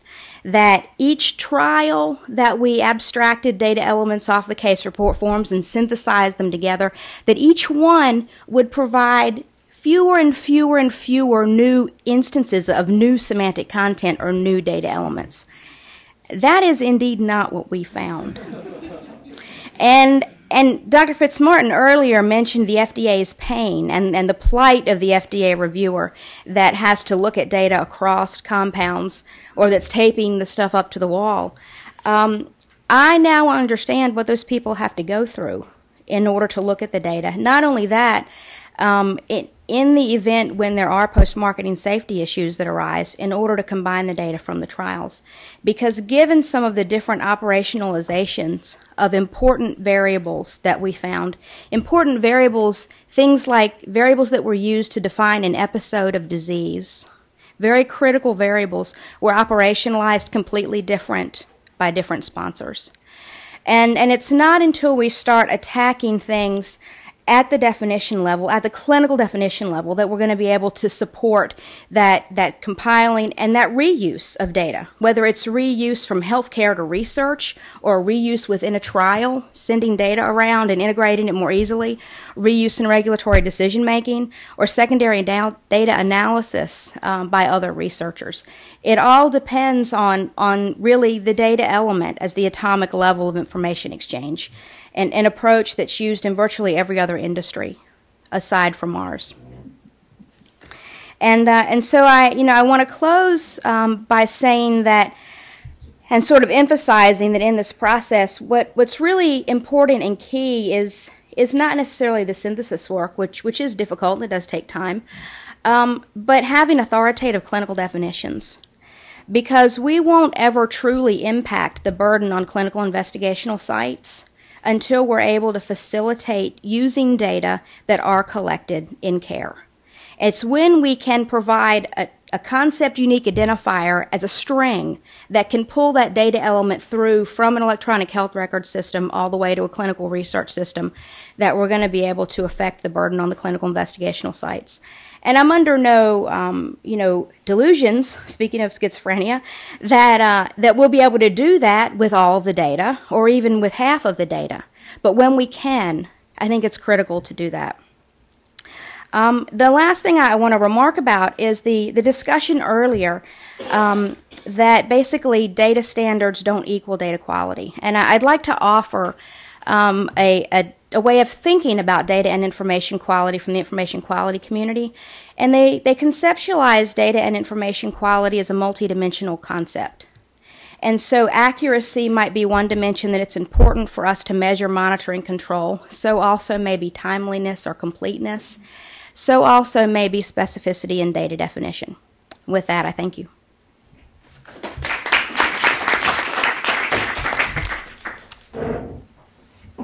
Thank you. Neil? Thank you, Lynn. I want to thank the uh, Institute of Medicine for the opportunity to allow Oracle to share our view on sharing clinical trial data. As one of the largest providers of technology in this field, both the clinical trial software as well as open source technologies, such as mentioned earlier, like MySQL and Java, you know, we have a strong corporate interest in the in the area. And personally, having been in industry before coming to Oracle and before that IBM a number of years ago, it also adds to my uh, personal commitment. You can tell I'm the token Silicon Valley IT company guy because I'm the one without the tie. my uh, my colleague Dr. Giannossi uh, wearing jeans, but we bought him a jacket on the way here, so don't worry, we're going to fit right in.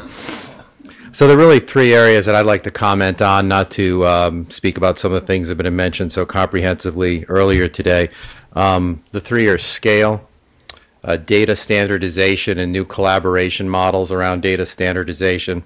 And third, the variety of data. So hopefully, since it's late in the day, these three initials will help you remember this SDV, which I'm sure no one in the room is laughing, source data verification. So I thought this was a clinical trial crowd, but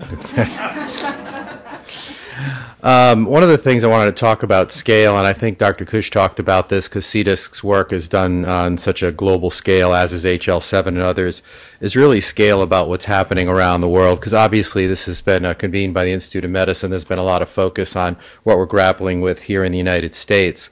But we're fortunate to work in a number of projects around sharing or accessing clinical information, whether clinical trial or medical information around the world. And I'll tell you that we see in all the requirements coming out of these RFPs and these government efforts, and a few of which we uh, have provided the software for, include the Singapore countrywide electronic health record and then the Australian countrywide electronic health record. Uh, I think all of you are aware that some countries, England and others, have stubbed their toes a little bit on some of these efforts, but we now have sort of the 10 years later lessons learned. Uh, we're going to budget for it intelligently, I think, effort in this field. And what we're seeing in all of these projects is uh, a heavy emphasis on data standards as a requirement for being part of the whole exercise. All of the ones I mentioned are uh, based on HL7 RIM-based models. We're seeing requirements around uh, using CDISC standards for the clinical trial data. Uh, and I think one of the things that, you know, unfortunately we may start seeing even a little bit faster outside the United States than we see here is a requirement to use standards for these large projects that are done at a country level. Of course, all these countries being a bit smaller than the United States, so a little bit easier perhaps to execute. Although I will say we're now involved in the project, which, like most of these, has been going on for a number of years and will hopefully come to fruition in Brazil it's 180 million people, so you know we're starting to get to levels that perhaps mirror some of the challenges we have in the United States.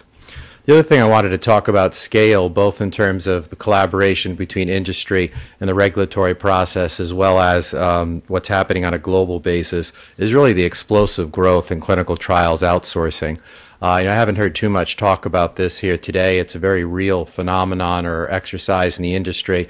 Uh, you've seen names of some of these big CROs, whether Covance, Quintiles, et cetera, obviously involved in a number of these efforts. Um, and and we we work with a number of them, well, all of them pretty much uh, around the world. You know, I think one of the things that's not always appreciated is that kind of collaboration is going to be important, and the service providers, as well as the sponsors, academia, and others, need to be brought into this equation. Uh, and it's one of the things I think we've seen a fair amount of innovation across different companies. Uh, one of the projects at Pfizer that some of you may be aware of is called a Pfizer Clinical Aggregation Layer Project. Not the most uh, sexy term, perhaps, but uh, Pfizer decided to outsource virtually all their clinical trials, the big phase two, phase three trials, to Icon and Parexel. In the midst of that, they started thinking about some of the things that have been mentioned here today, which is how are we going to actually maintain the controls, the privacy issues, the sharing uh, protocols that we want to do around that process and with that data. Because I'm sure, as many of you are aware, when you enter in an arrangement like that, you can not only outsource some of the mechanical elements, but often a lot of the decision making criteria that perhaps you wouldn't. Uh, you know, prepare, be prepared to do. So I think that's an area where you know we see a lot of um, innovation, even though it's a fairly new project and obviously on a very large scale, given the size of Pfizer's portfolio. You know, I think people are kind of just think stepping back and saying, "Wow, so we're going to have all this trial data. It's actually all on our servers at Oracle. It's all being shared with these other big CROs. How are we going to operate in a world like that?" So the policy and practices uh, implementations around the outsourcing arena, I think, is another area that is really a different scale than some of the projects that at least I've heard so far discover, uh, discussed today. The second area, the D, is data standardization and some of the new collaboration models. Um, Transcelerate Biopharma, both given the press and some of the previous mentions. I won't cover that again. I will say the one thing I didn't hear mentioned about Transcelerate it was mentioned that it took about 10 years of meetings for that to potentially come to pass. And I think for any of you who've dealt with the sponsor side of the business quite a bit, you know that's because for 10 years the antitrust lawyers all told them not to form Transcelerate Biopharma or they'd be in, or they'd be in court. But eventually they figured that out, I presume. Um, and I think one of the things that really uh, makes me optimistic about that effort uh, is the fact that you know it has a CEO, an experienced individual, formerly from J and J. Uh, the organizations have committed funding, so there'll be staff, there'll be organizational structure around it. It's not you know as somebody, a few people have mentioned a number of times, a bunch of people second or third jobs, and the nights are on the weekends. So I think that's a, a, promising start. There's one that I didn't hear mentioned that we're a member of, along with many other organizations, called the Pistoia Alliance. I suspect it wasn't mentioned because it does kind of deal at the GORPy technical data transfer level. That's probably not quite as interesting to people in the room. Um, I actually copied down their, their mission. We aim to lower barriers to innovation by improving the interoperability of R&D business processes. We differ from standards groups. I don't know if uh, Becky or Chuck or others would agree with this, but because we bring together the key constituents to identify the root causes that lead to R&D inefficiencies and develop best practices and technology pilots to overcome common obstacles. So this is another effort. It's largely currently mostly focused on figuring out ways to send sequence data around in a secure and, and economical fashion, which is a which is a big challenge in and of itself. But I think that's another example of where we're seeing innovation um, outside some of the mechanisms that we've heard discussed today, and a new collaboration model that could give rise to some of the initiatives and innovation we've seen in similar collaboration models that have been mentioned earlier around the IT industry, the semiconductor industry, and others. So the third uh, area I wanted to talk about was variety. Uh, it's been mentioned a couple of times, uh, this concept of big data. If we were at an IT conference, would have been mentioned about every 20 minutes. Uh, it's now a very popular term. Uh, when you think about big data, if you're at a genomics conference, they talk about the volume of data. If you're at other conferences, they talk about different elements. But big data really is around three V's actually the variety of data, the volume of data, and the velocity with which you need the data.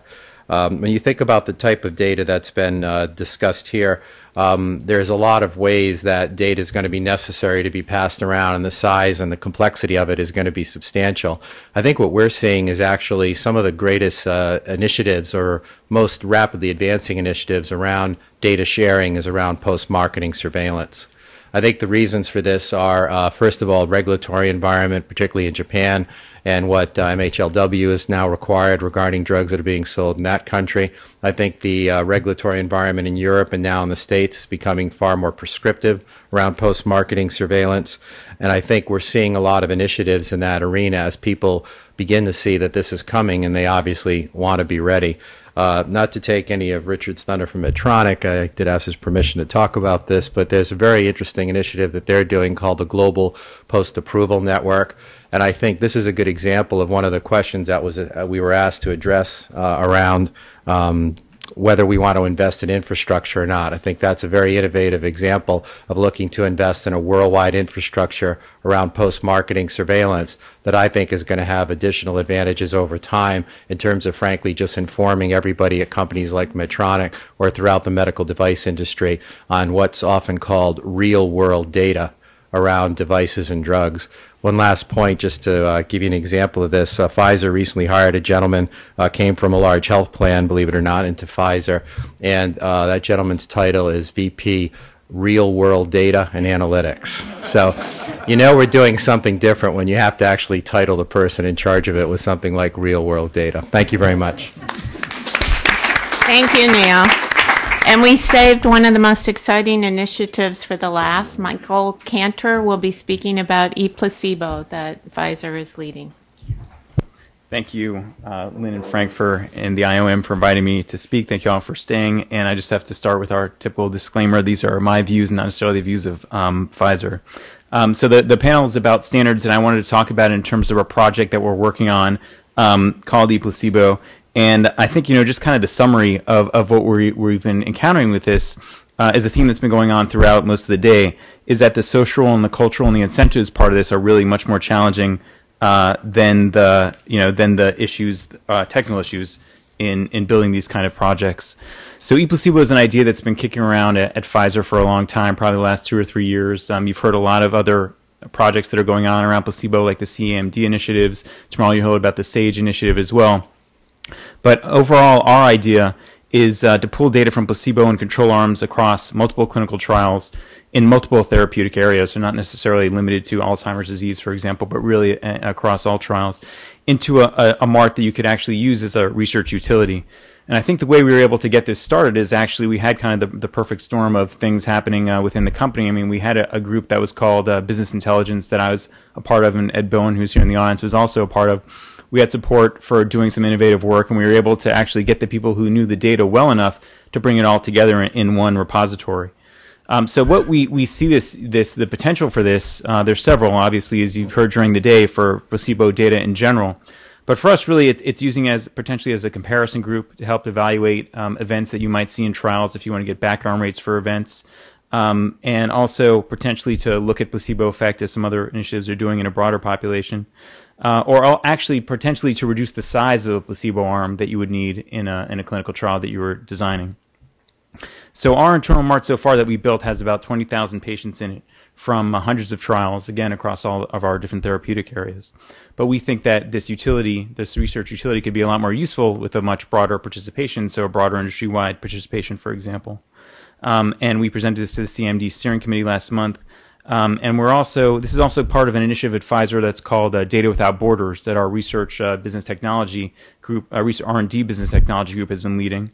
Um, and it's also kind of linking along with these other collaborations that, that Pfizer is doing, like our Centers for Therapeutic, Therapeutic Innovation that we're working with a lot of academic medical centers. So anytime you're trying to build one of these large-scale databases that highlights the importance of standards, um, it's really essential for looking at cross-program, and particularly if you're going to do a cross-industry or cross-academia type of uh, initiative, uh, you'll need that for the analysis. Um, if you think about the CDISC standard, you know, it's really, it's basically got very, relatively wide adoption, but with like a lot of standards, you know, the way it's actually implemented locally has slight differences that oftentimes make the analysis a lot more difficult afterwards. You can actually lose some of the details there.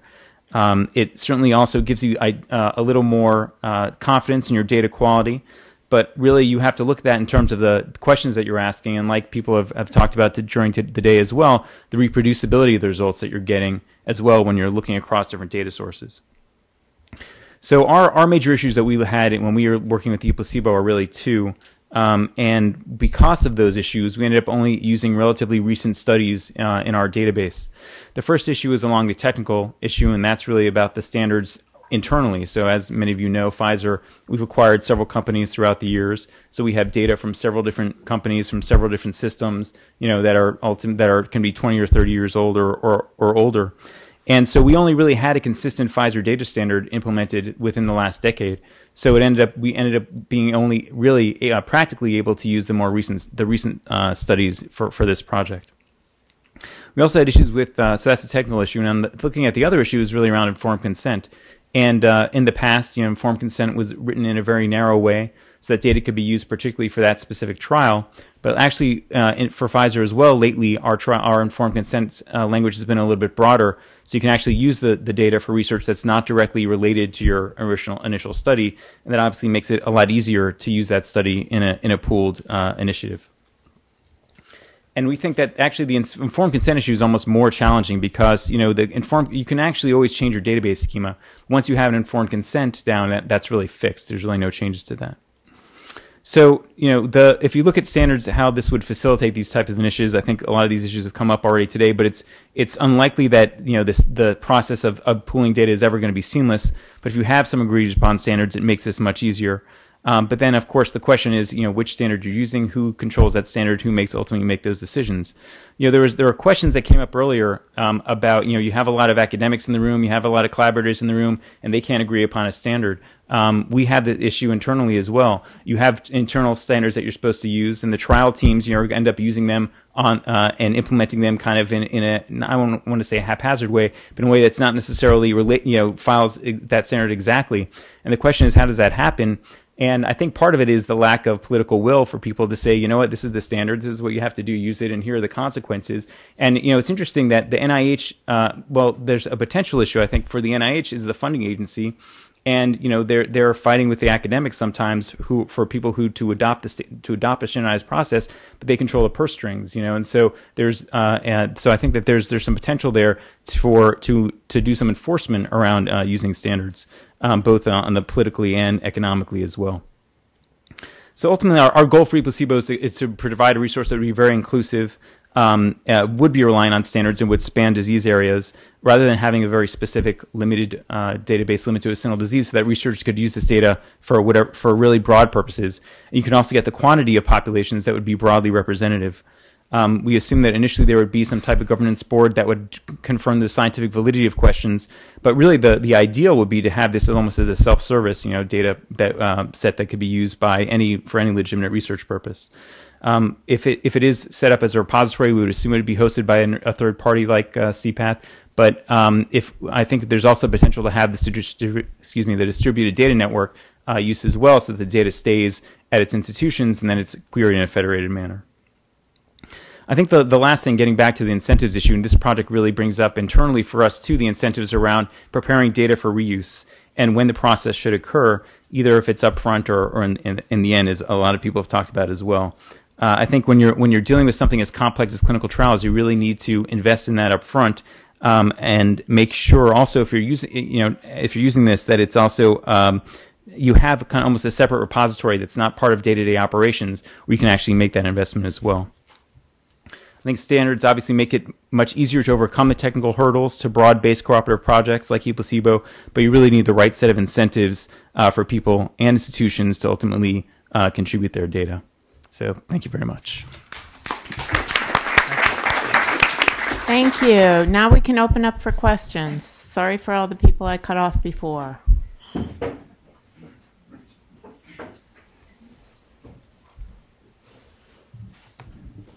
Are you bringing back the other panelists? I think the FDA has gone. My- The FDA is left, but My- Yeah, the FDA is gone, so I can't ask that question. But, but I did want to, you know, we're, you know, this is a, a bit of a, uh, um, uh, a goodwill festival here, and yet I'm hearing that we're only pooling placebo data, and in CAMD, you know, that Alzheimer's trials were not, active arms were not contributed. So, you know, let's talk about that since, you know, we really do have key people here who could be influential in their companies with, uh, with um, academic partners, with the organizations, with regulatory.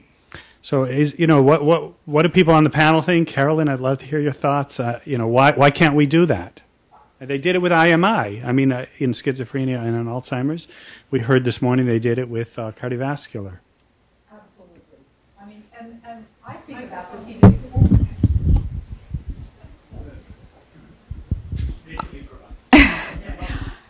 Um, I think about this even more broadly about where are the edges of the pre-competitive space. I mean, that that's something I think we've we haven't talked about that today, but that that really is what we need to look at to define where it is that we can that all the companies can collectively gain by pooling not only data, but expertise and other resources so that they all get something that none of them could acquire on their own. And, and that's something that I, I know is evolving, but it, it now, I hope, is moving into the space where people are willing to, um, to uh, waive uh, their IP anxiety um, in, in, order to uh, get more benefit out of money they've already spent, data they've already collected, failed trials that they're not going to go back to, where, where collectively we could have an enormous public and private benefit um, if, if people were willing to contribute that um, to a, a common um, source that, that was accessible by everyone. Can I? Uh, I'll add to that also. Um, is that I think one of the big issues why people don't want to share um, active ARM data is the worry, and it, some potentially the risk is a hypothetical risk, but it's generally it's it's not only the IP risk. A lot of times it's the, risk, the the potential risk of of uncovering safety events. Um, you know, we have we have the issue when we're, and that's one of, that's one of the big reasons that's been taking us, you know, years to actually get this initiative off the ground. Is even with the well, because uh, we're mainly focusing on placebo uh, data, but we're thinking of looking at control arm data and active arm data as well, and pulling that. And you know, the question is, well, what if you pull all this data and you see a trend that wasn't discovered before? Then what what happens with that? So I think that's a you know sometimes that that may or may not be a, a real risk, but that's uh, definitely a perceived risk, and people are are worried about that. I just wanted to follow up, and you know, so the question, if the FDA folks were still here, and I guess everyone's gone. Did Eric go as well? Uh, you know, was you know, how are they going to help? And maybe we can readdress this when Janet. I think Janet's going to be here tomorrow, if I understand. My name is uh, Kelly McPherry, and I have a question probably for Neil, but any panelists, please speak up. Um, I'm here on behalf of Northrop Grumman's Health IT business. Um, and we spend a lot of time listening to vendors come to us and say, we really should be the one of the solutions you bring into one of your government customers. Um, and the test we give them is always about unstructured data. Uh, oftentimes they're really good at one kind and not the other. And we see clinical standards as necessary but not sufficient. We see um, we've invested a lot in CDISC, so we care about that. We um, invest in uh, a lot of neuroimaging, a lot of um, genomic skill sets, but we we rarely ever find um, somebody who can really tackle what I think we think is going to be the elephant in the room down the road for clinical trials, which is integrating the disparate data types. So we've talked a lot about big data types and complex data types with with uh, dispersed provenance, but we haven't talked a lot today about uh, the really disparate data types that come from radiology images integrated with genomic images, genomic data and then the conventional EHR data and clinical data. So if if you Neil could talk about what Oracle's doing to invest, or anybody else wants to jump in. Um, well, I think the, I'll just make a couple points maybe on the technology aspect of it, and other people can comment. I think first of all, one of the reasons you haven't seen quite as much focus on that is because there's so much opportunity for improvement and all the things you already have heard for the last eight hours, and obviously that hasn't exactly reached its uh, end game yet. Um, but from our perspective, we bought the leading company in analyzing unstructured data called Endeca about a year ago. In fact, that target example that people may be familiar with with the pregnancy, that's the Endeca so- software. Not everybody knows the end of that story, but after the father was proven a little bit well, anyway, it's an interesting story for those who are aware of it. But at the end of the day, what Target did, instead of stopping sending uh, pregnancy uh, coupon for things to to uh, teenage girls, they just started including more coupons for cornflakes, oil changes, and uh, you know blouses, so it didn't look so obvious they were sending the coupons. So anyway, so this is this is what you have to look forward to with unstructured text mining. Um, so I think the you know, we just announced on Monday this hundred million dollar project with the University of Pittsburgh Medical Center, and that's a $10 billion institution, so they can afford to spend money like that. Those sorts of people are focused on that, and uh, I just think, you know, it's still a little bit early days for a lot of other people, at least in the academic arena, because there's just so many other demands on their IT dollars or their, their clinical dollars. But there's a lot of exciting things happening in pharma, so if you want to address that. Right. So, uh, so the cow uh, is, has you know been consuming a, a lot of my time uh, in the last few in, in the last few months, but um, it's certainly um, something that we're that we're thinking of as well. So that's because you're right. You need a resource for the omics data.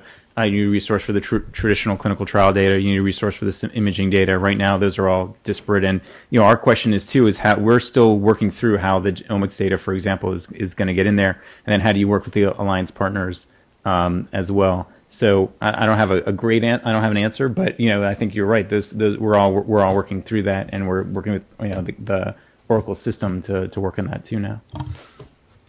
Josie Briggs. Yeah. Hi, Lynn. And NCAPS. Yeah. Uh, so it's been a great afternoon. I'm Josie Briggs. I, I work at the NIH, do various things there. Um, but I, I want to return to a topic that's come up recurrently all afternoon, which is the challenge of, of getting a consensus around uh, data definitions and data standards. Um, and as I've thought back as I've been listening to this terrific conversation about several, some of my recent experiences in, in this, this arena, uh, and, and I wanted to hear from some of these very knowledgeable panelists what, what you thought about some of the different models that we use to do that.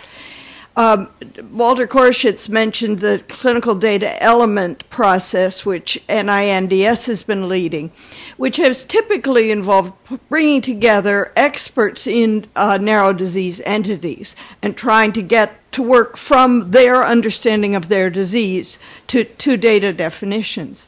I've been one of the co chairs of the PROMIS initiative, and that's really been led uh, scientifically by psychometricians who've had a kind of big uh, uh, view and, and, have tried to develop definitions. And we haven't always seen those very avidly taken up by experts in the communities, the cl- clinical trialists, uh, because they had their own way to measure depression, and that was HAM-D, and they weren't going to use the, the new uh, approaches. Um, and, and, certainly, one uh, thought about this is in general, when diseases are poorly understood, uh, like back pain, which is one we're working on right now, it's really, really hard to get consensus. But, but Carolyn, I know you must have a lot of thought about this, and I'd be interested in thoughts about, about the process of, of developing uh, consensus and, and common data elements, whether it should come from a broader conceptual framework or, or up from clinical uh, expertise. And Others, I'm sure, have thoughts. So I'm a clinician, and for me, my my whole focus, even in the job I hold now, is all about patients.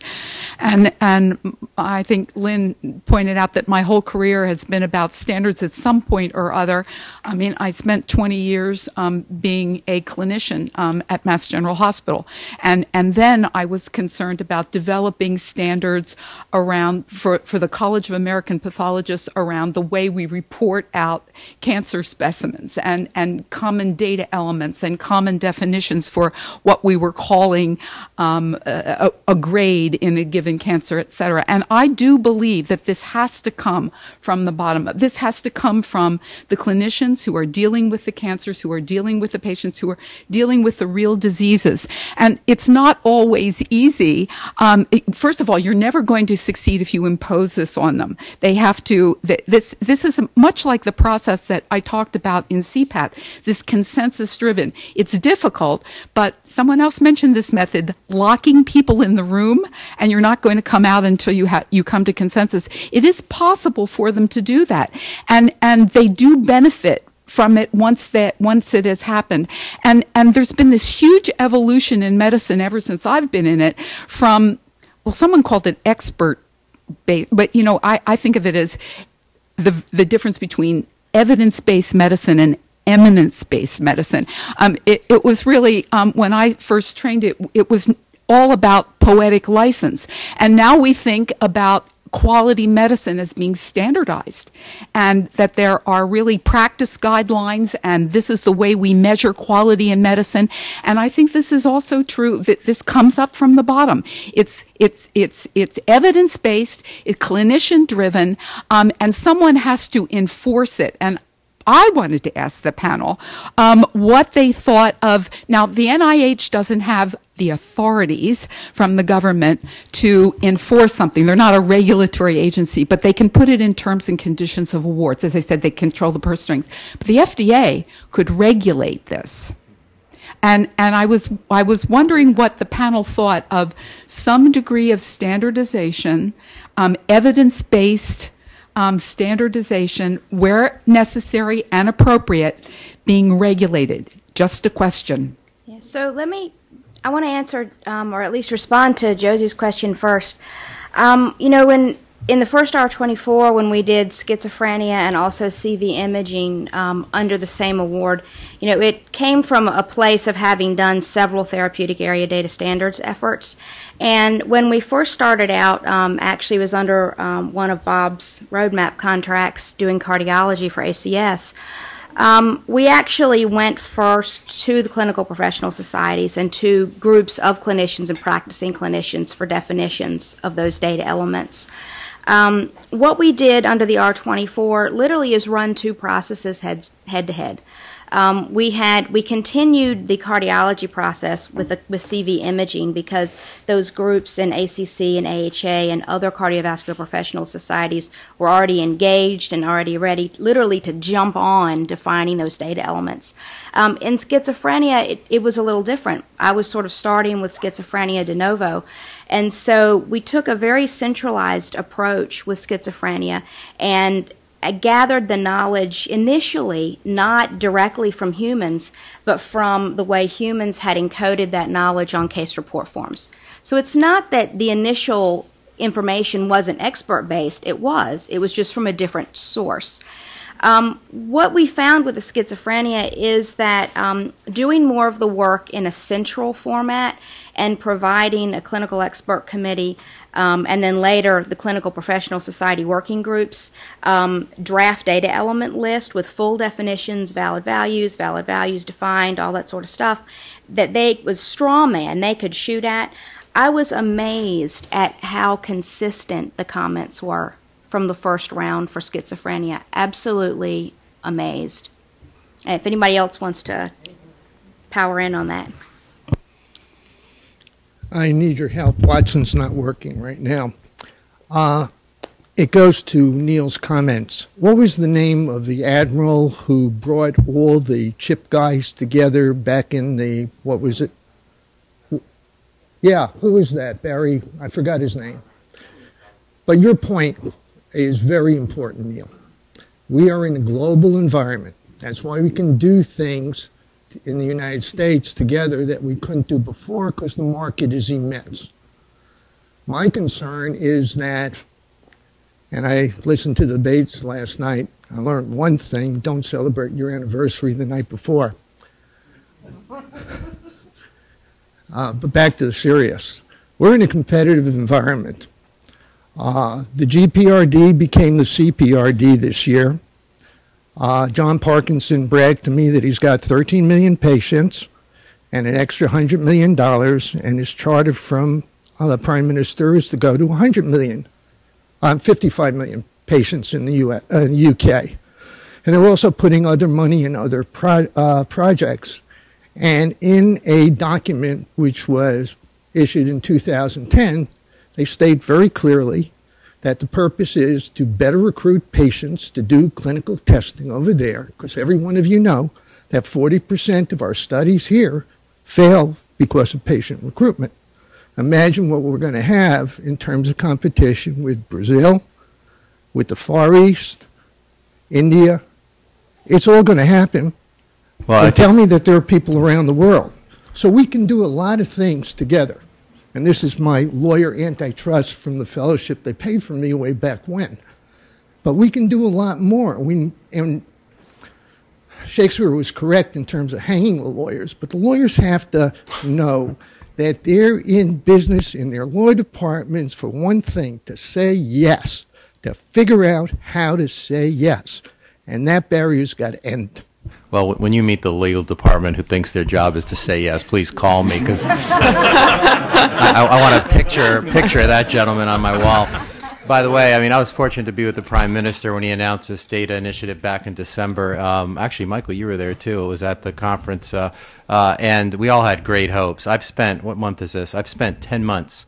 That, that HES database with 55 million patients, they still haven't figured out how to let the data go yet.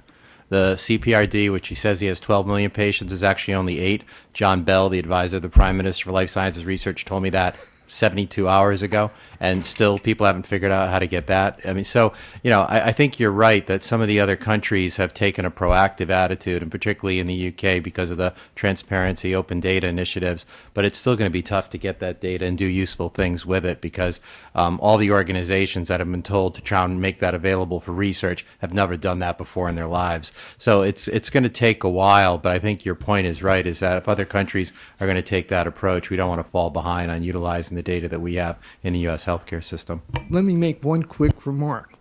The day before yesterday, Rob Kolodner and other people working with Rob went live with medical record system in Rwanda.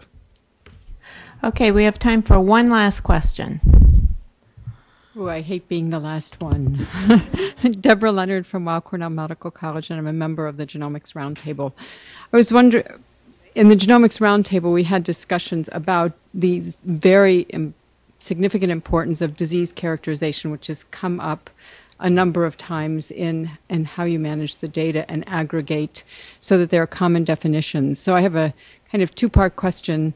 One is when will we move to a genomics definition of disease? And around cancer, you can think about that, but around back pain, I'm not sure you can think about that but it could give you the racial ethnic background in a better characterized way. And then we know that genetics isn't everything. So, what is being done to standardize environmental exposure data, or at least have tools to capture that in a better way so you understand the full interaction that the genome and the environment have?